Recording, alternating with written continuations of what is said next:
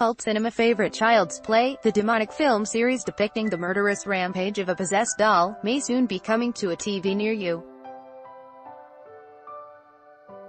Also known as Chucky, the franchise already has seven creepy films under its belt, though the horror franchise's creator Don Mancini is now teasing that things could be taken one step further on the small screen with a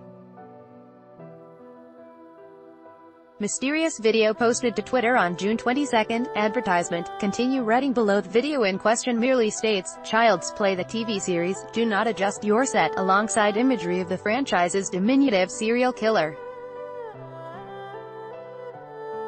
Fans of the evil doll have more than enough films to whet their appetites, but initial reactions to Mancini's cryptic tweet were thrilled to say the least. Advertisement, continue reading below while we'll have to wait and see what comes of the tease. Back in 2014, Mancini was lining up a potential Annabelle collaboration by admitting that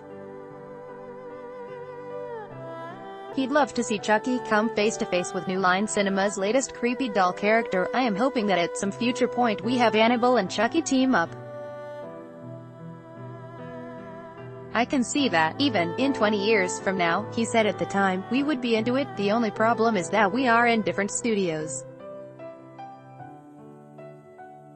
That would probably be years worth of red tape to work it out, but if it all could be worked out then yes, we are very into it. Now that would be the ultimate creepy doll dream for horror fans.